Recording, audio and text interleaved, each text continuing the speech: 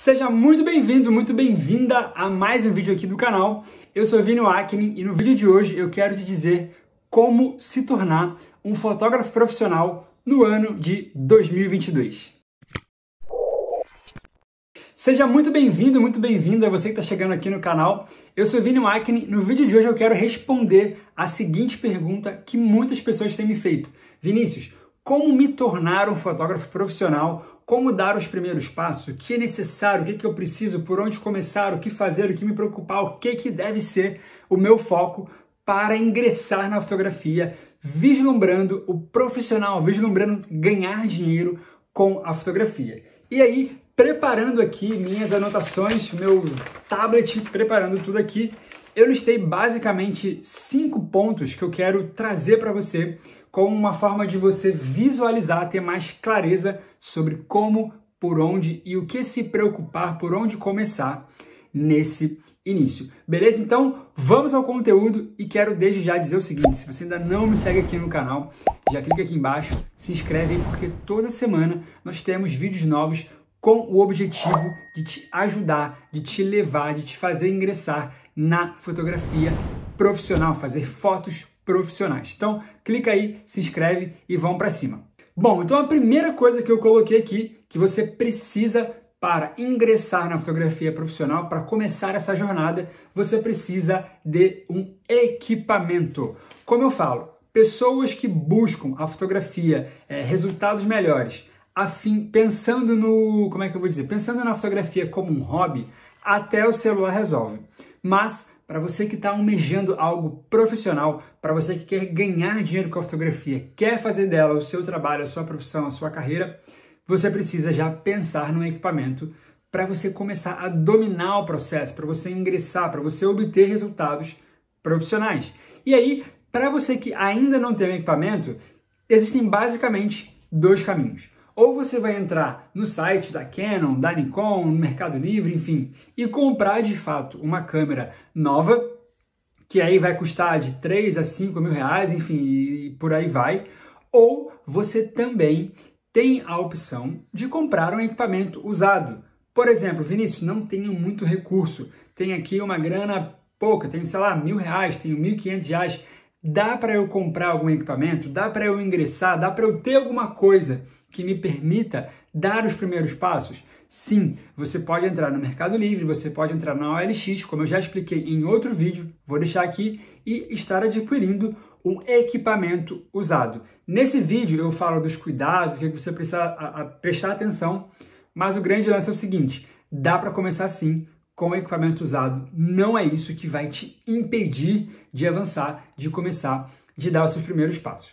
O grande lance de se ter um equipamento é que com o celular você consegue fazer boas fotos com o iPhone, com, sei lá, com o Samsung, com o Xiaomi? Sim, dá para fazer. Mas quando alguém vai te contratar, a pessoa entende o seguinte, cara, para fazer com o celular eu faço com o meu. Então ter uma câmera, ela é um cartão de visita e principalmente os resultados que você consegue com a câmera são infinitamente, digamos que, não vou dizer melhor, porque às vezes tem celular que faz fotos muito boas. E se você não souber ajustar a câmera, o celular fica melhor.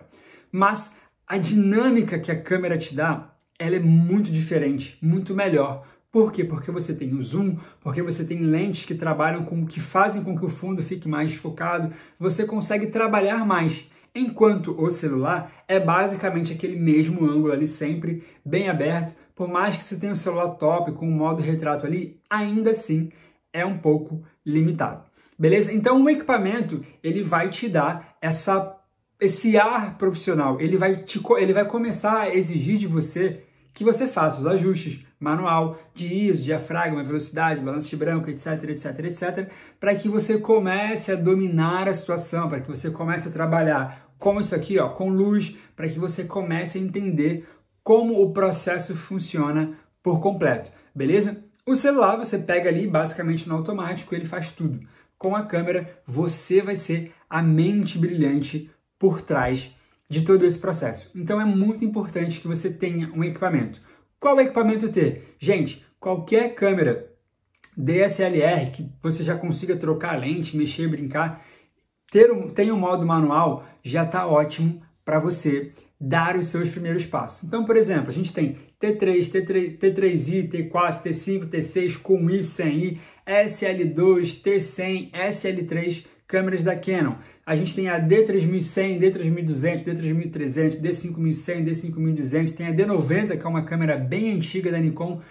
Enfim, nova ou antiga, todas essas te possibilitam dar os primeiros passos. Elas trocam de lente? Trocam te dá dinâmica. Elas têm o modo manual? Tem, então já dá para você fazer os ajustes pensando com a sua cabeça e não explorando o modo automático. Isso é o que você precisa para dar os seus primeiros passos na fotografia, beleza? Vamos agora para o nosso segundo tópico e antes da gente entrar nele, eu quero te convidar, deixa aí o seu like, assim você me ajuda a levar esse conteúdo adiante. E também, se você está gostando desse material, clica aqui embaixo em compartilhar, já envia esse link para aquele seu amigo, para aquela sua amiga que está buscando aí essa missão de fazer fotos melhores, de fazer fotos profissionais, de trabalhar com a fotografia. Com um clique você consegue já ajudar essa pessoa a avançar. E vamos nessa então, segundo ponto que eu acredito que seja fundamental para você focar nesse momento enquanto iniciante na fotografia, que é a parte técnica. Agora que você tem o equipamento, é muito importante que você aprenda pelo menos ali o básico da técnica, que é o que? Organizar, que é mensurar, que é criar ali as funcionalidades para ajustar o ISO, o diafragma e a velocidade da sua câmera. Se você não faz ideia do que é isso, não tem problema. Em outro momento a gente vai falar. Mas o que eu quero te passar é que você precisa ter esse domínio mínimo dessas ferramentas para que você já comece a pensar fotograficamente falando, olhar para uma condição de luz e entender como configurar a sua câmera, como posicionar a pessoa, como como você vai utilizar aquela situação de luz. Não dá para você mudar o sol de lugar. Não dá para você tirar uma nuvem ou colocar uma nuvem. Então você tem que aprender a pensar com a luz que você tem. Se eu estou aqui e eu tenho uma luz que se mexe, maravilha. Mas se eu estou numa praça, numa praia, num campo, numa casa de festas, eu não, na grande maioria das vezes, eu não posso mexer a luz do lugar. Então, a gente precisa aprender a pensar fotograficamente para otimizar o resultado de acordo com a luz que a gente tem. E para isso é fundamental que você domine os princípios básicos da câmera, o ISO, o diafragma, a velocidade, o balanço de branco. Entendendo essa, essas coisinhas aí de forma mínima, você já consegue aí pegar a sua câmera, colocar no modo manual e já fazer os seus ajustes, já posicionar a pessoa de forma favorável com a luz. Se você for comprar uma luz, não adianta você simplesmente entrar na internet e comprar, eu quero um softbox, quero um flash da não sei o que lá. Não adianta você só comprar, tem que saber utilizar. Não adianta você ter, tem que saber como explorar, como tirar o melhor de cada equipamento. Então, é muito importante que você vigie, que você procure saber, que você procure aprender sobre esses princípios técnicos. Vinícius, aonde que eu aprendo sobre essas coisas, sobre ISO, sobre diafragma, sobre velocidade, sobre balanço de branco, sobre regras, etc.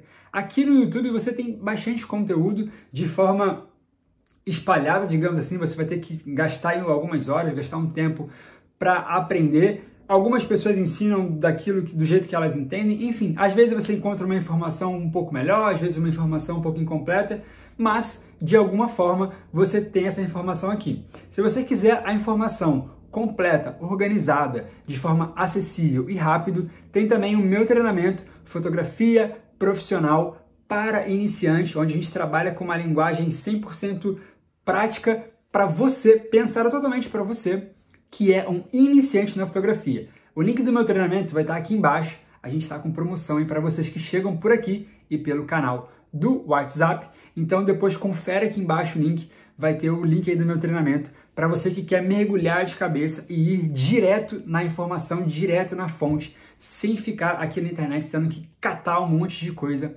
aleatória. Então, segundo ponto para você focar nessa hora aí, nesse momento de início da fotografia é as técnicas básicas para você já começar a pensar fotograficamente.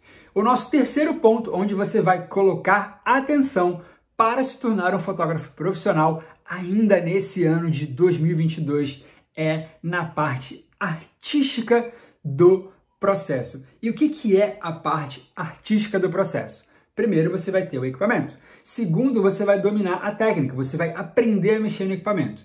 Uma vez que você está com essa parte, digamos que automatizada, que você tem o controle disso, que você já sabe como ajustar a sua câmera, não é que você vai ser um perito. Você já sabe fazer pelo menos o mínimo. Agora sim, você vai ter uma tranquilidade a mais, uma confiança para começar a deixar aflorar a sua mente, a sua criatividade, a sua percepção.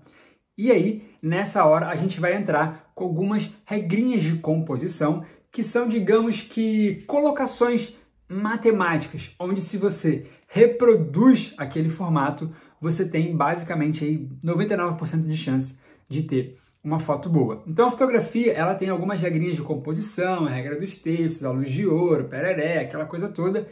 E sabendo isso, dominando isso, você vai fazer colocações, você vai posicionar modelo, você vai enquadrar, você vai fazer o foco, você vai escolher ali a, a, os detalhes da cena de forma que seja basicamente quase que impossível a foto ficar ruim. Por quê? Porque são padrões já pré-estabelecidos. E aí você primeiro você aprende esses padrões. Depois você começa a criar, fazer sua foto em cima desses padrões, em cima dessa regrinha, bem engessado mesmo, bem copiando mesmo. Uma vez que você começa a dominar e a entender o padrão, aí é a hora que você começa a quebrar o padrão, mas quebrar o padrão de forma artística, colocando o seu toque, a sua identidade, a sua assinatura. É mais ou menos igual um bebê. O bebê começa falando ali, bam, bam, bam, bam, bam, daqui a pouco você entende uma palavra, daqui a pouco ele fala tudo errado, mas você consegue entender a ideia do que, que aquele neném quer até o momento que ele já começa a falar com a gíria dele, do jeito dele, enfim, se tornou um adolescente, agora ele tem identidade própria, digamos assim. Na fotografia é exatamente a mesma coisa. Primeiro, você começa fazendo igual o padrão, igual alguém, exatamente como a regrinha diz, para que você vá entendendo, para que aquela ideia fique fixa na sua mente, para que você entenda o conceito por trás, até que depois você começa a trazer a sua identidade para o processo. Você, em cima daquilo ali, você cria, você melhora, você amplia, você inova aquela ideia, mas sempre sabendo por onde caminhar, sempre respeitando esses princípios básicos. E ainda que você quebre, você vai quebrar de forma artística, para que não seja visto como um erro grave por não ter respeitado uma regra básica. Beleza? Então, segundo ponto que a gente vai focar é essa parte artística. Vinícius, como desenvolver essa parte artística? Mais uma vez, aqui no Instagram, aqui no YouTube, você tem conteúdo ensinando? Tem, tem bastante conteúdo ensinando, alguns melhores, alguns incompletos, alguns, cada um falando meio que de um jeito. Enfim, a gente também tem esse conteúdo lá no nosso treinamento, mas eu não quero ficar focando muito nisso. Um outro ponto também para você educar a sua mente com relação à arte é ver muitas fotos, ver pinturas também, porque lá no passado os pintores, eles já pensavam em cima dessas regras de composição, eles já pensavam em cima desse formato de luz, de posicionar, de como fazer. Então tudo isso já era pensado lá atrás quando eles faziam as suas pinturas. Então você olhar para aquelas pinturas, identificar de onde vem a luz, aonde é que está a sombra, o contraste que aquilo gera, as áreas de intensidade, a regra dos terços, o, a, a, o posicionamento, enfim, tudo isso vai começar a amadurecer o seu olhar para que você entenda essas regrinhas, para que a tua percepção sobre cores melhores, enfim, você vai começar a identificar esses pontos artísticos aí para ir afinando a sua arte e em cima disso a tua criatividade ganhar espaço na fotografia para que a sua identidade venha e você comece a fazer as suas fotos do seu jeitinho, com a sua característica. Beleza? Vamos avançar então aqui para o nosso quarto ponto que você vai focar nessa busca em se tornar um fotógrafo profissional no ano de 2022. Deixa eu pegar aqui a minha cola. O quarto ponto é portfólio. Portfólio. Primeiro você vai ter a câmera, segundo você vai dominar a técnica, terceiro você vai dominar a criatividade, a, criatividade não, né? Você vai dominar a criação de fotos. Você vai começar a entender como fazer, como posicionar todo esse processo. E aí, agora que você entende isso, e eu quero fazer aqui uma observação. Tudo isso que eu estou falando, você precisa dominar. Quando eu digo dominar, é você precisa ter o básico, beleza? Por quê? Porque você só vai se tornar um mestre naquilo conforme você pratica. E aí, se você não pratica porque acha que ainda não está pronto, você entra num ciclo vicioso e nunca sai do lugar. Então, que, que eu, quando eu falo que você tem que dominar, é o básico, é o básico da técnica, é o básico das regrinhas para você já começar a fazer com algum entendimento. E aí você vai começar a montar o seu portfólio. E o que, que é o portfólio? O portfólio é a sua capacidade. Portfólio é o quê? Na fotografia, a gente não tem um currículo. Ah, eu me formei na faculdade, eu me formei no cursinho tal, eu tenho a câmera tal, eu fiz horas disso aqui. Não, não, não existe isso. Na fotografia, o que manda é o seu portfólio. O portfólio, ele mostra para a pessoa a sua habilidade, o que você é capaz de fazer, o que você é capaz de entregar, o resultado que você é capaz de gerar na sua fotografia. E o grande lance é o seguinte: o portfólio ele não diz que você está certo ou que você está errado. Ele não diz se você é melhor ou se você é pior. Ele diz assim, ó, eu sou capaz de fazer isso aqui. E aí, isso aqui, algumas pessoas vão gostar, outras pessoas não vão gostar. E tá tudo bem. Por quê? Se trata de gosto, se trata de expectativa de cada um. Então, pare de, de querer achar que ah, eu preciso estar pronto, eu preciso ser igual ao fulano para começar. Se você não começar agora, você nunca vai ser igual ao fulano. Por quê? Porque certamente o fulano aprendeu, amadureceu errando muito. Errando aonde? No campo de batalha. Então, comece a montar o seu portfólio. Você quer trabalhar com o quê? Com ensaios, com eventos, com paisagem, com alimentação, com produtos? Então, comece a forjar essa situação, essas situações para que você comece a fotografar. E aí, uma vez que você sai de casa, do campo da teoria, pega sua câmera e vai para a rua fotografar, você começa a amadurecer, a entender, a pegar o domínio geral do processo e isso vai amadurecendo pouco a pouco a sua fotografia. Não é do dia para noite que isso acontece, mas você entendendo aqueles princípios básicos, já é hora de começar agora a montar o seu portfólio. Ah, Vinícius, mas as minhas fotos elas são muito, é, muito pobres, são muito simples em, comparando com as do fulano, comparando com as do ciclano. Não interessa. O seu portfólio é, é o que você consegue entregar agora. E é o que você consegue entregar agora que é a base para o próximo degrau. E depois, para o próximo degrau. E de degrau em degrau você vai chegar lá um dia igual o fulano que você admira muito.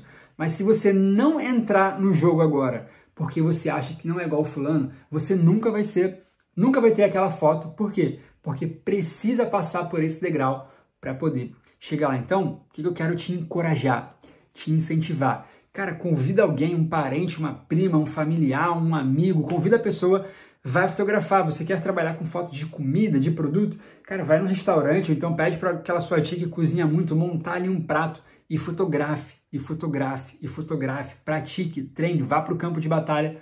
Por quê? Porque é lá que você vai amadurecer, é lá que você vai dominar de fato toda aquela teoria que você estudou.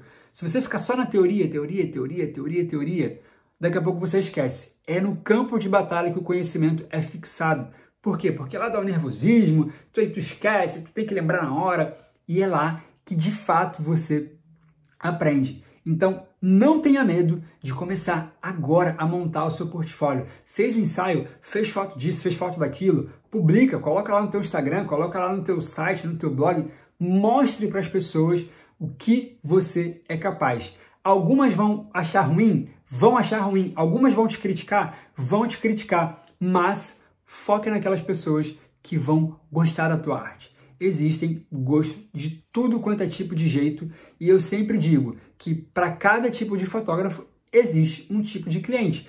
Talvez para você ter o cliente XYZ, talvez ainda não seja o seu momento. Aí você vai ter que amadurecer um pouquinho mais.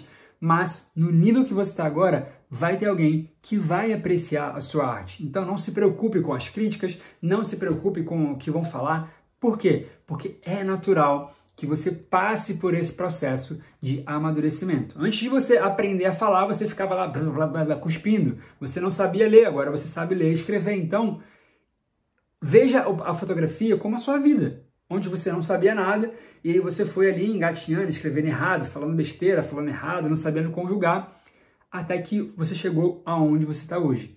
É exatamente a mesma jornada, a mesma estrada e você tem que passar por esse processo de aprendizado. Então, nosso quarto ponto aí para que você se torne um fotógrafo profissional é não tenha medo de mostrar as suas fotos, não tenha medo de criar situações para que você fotografe e comece a gerar o seu portfólio. Esquece currículo, esquece, ah, quero fazer faculdade de não sei o que, tantas horas para ter um certificado.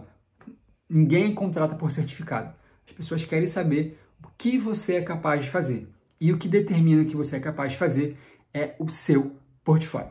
E o nosso quinto e último tópico para você que quer se tornar um fotógrafo, um fotógrafo profissional ainda nesse ano de 2022 é ir para o campo de batalha. Foi mais ou menos o que eu já falei antes, mas agora eu quero dar uma outra ênfase, que é o seguinte: quanto mais você é visto, mais você é lembrado. Como diz o ditado, né? Quem não é visto não é lembrado. E o que, que você precisa nesse momento enquanto iniciante? Bom, seguinte, ó, quando eu comecei na fotografia, eu pegava minha câmera, levava chá de bebê da minha prima, levava, vai ter futebol dos vizinhos, levava, vai ter culto na igreja, levava, vai ter festa na faculdade, levava, vai ter, sei lá, churrasco do vizinho, levava a câmera. Por quê? Porque antes eu era o Vinícius primo, o Vinícius da igreja, o Vinícius vizinho, o Vinícius coleguinha, o Vinícius do futebol. E aí eu comecei a gerar na cabeça das pessoas uma mudança com relação à minha identidade. Eu não queria mais ser o Vinícius do condomínio, eu queria ser o Vinícius fotógrafo. E para que as pessoas me vissem como Vinícius fotógrafo, para que as pessoas lembrassem de mim como o Vinícius fotógrafo, elas precisavam de quê? Elas precisavam ver o Vinícius fotógrafo, o Vinícius com a câmera pendurada no pescoço, fotografando. E essa mudança de identidade que você vai gerar na cabeça das pessoas demanda tempo. Esse tempo você faz como? Pegando a sua câmera e sendo visto pelas pessoas. Então, quando você vai para o campo de batalha, como eu acabei de falar, quando você leva ali na reunião da família, na festinha da igreja, na faculdade, na galera do trabalho, no futebol, em onde quer que seja, as pessoas começam a olhar para você como o fulano de tal, a fulano de tal, fotógrafo. E aí isso vai gerando um link na cabeça delas, até chegar o momento de que Amiga, preciso de um fotógrafo, você conhece? Hum, tem o Vinícius Fotógrafo. A pessoa começa a lembrar de você como fotógrafo. Por isso é fundamental que você esteja sempre com a câmera na mão, mostrando ali que agora você não é mais o vizinho dela aleatório lá, que agora você não é mais o amiguinho da faculdade. Você é o fulano de tal fotógrafo. Isso começa a criar a sua marca, isso começa a criar a sua identidade para que as pessoas se lembrem de você como fotógrafo. É aquilo, aquela coisa, né? A primeira coisa que eu quero que as pessoas se lembrem quando pensar. Reformulando aqui. A primeira coisa que eu quero que as, a primeira pessoa, né, que eu quero que as pessoas lembrem, quando eu falar fotografia, ela tem que falar, hum, Vinícius. Por quê? Porque sempre que ela precisar, sempre que alguém pedir, sempre que ela cogitar a fotografia, a primeira coisa que eu quero que venha na mente dela é o meu nome, é a minha pessoa. Para quê? Para que eu seja chamado. E isso, às vezes a gente fica é, muito preocupado em fazer acontecer, fazer cartãozinho, aquela coisa toda. Cara, mas dá para você fazer isso de forma simples e gratuita. Como? Se tiver um motim de pessoas aglomeradas ali, futebol, festa da vizinhança, condomínio, faculdade, igreja, o que quer que seja, tem ali uma galera reunida, cara, pendura a câmera, chega lá e faça fotos. Hoje em dia, o mundo é movido pelo quê? Rede social, imagem, internet, foto, foto, foto para tudo quanto é lado. Então, se você é a pessoa que gera fotos, que alimenta as pessoas com fotos, cada vez mais você cria esse link na cabeça das pessoas de que você é o fulano de tal, fotógrafo. Quando a pessoa engravidar, quando tiver aniversário do filho, quando tiver a festinha da, do colégio, da vizinha, da, ei, você tem que ser a primeira pessoa que ela lembre quando o assunto for fotografia. É quase igual aquela música chata que não sai da cabeça. Você vai ter que estar ali a pessoa pensando em você. Como que isso acontece? Quanto mais você estiver com a câmera no pescoço, quanto mais você é visto dessa maneira, mais você é lembrado como fotógrafo. E isso é o que começa a abrir as portas. Muita gente faz um escarcel. Como conquistar o primeiro cliente? Como fazer isso? Como fazer aquilo outro? Pode ser muito simples o processo. Seja visto dessa maneira para que você seja lembrado. Espero que você tenha gostado desse vídeo, espero que essas dicas possa ajudar você que quer dar o primeiro passo aí na fotografia, beleza? É, conte comigo nessa jornada e para você que quer mergulhar de cabeça nesse processo, para você que quer imergir na fotografia, não quer perder mais tempo, como eu já disse, aqui embaixo tem o link do meu treinamento completo, Fotografia Profissional para Iniciantes 2022, treinamento completo, atualizado, com tudo que você precisa aí para entrar nessa jornada, para se tornar um fotógrafo profissional. O link está aqui embaixo. Qualquer dúvida também que você tenha, você pode deixar aqui seu comentário, você pode me chamar lá no Instagram, arroba eu sempre respondo todo mundo. E é isso aí, conte comigo, vai ser um enorme prazer te ajudar nessa jornada e eu espero te ver lá no nosso treinamento para que juntos possamos levar sua fotografia para um nível profissional. Até o próximo vídeo e se você ainda não curtiu, curte aqui, se você ainda não se inscreveu, se inscreva agora e toda semana a gente tem conteúdo novo. Te vejo lá, até o próximo vídeo.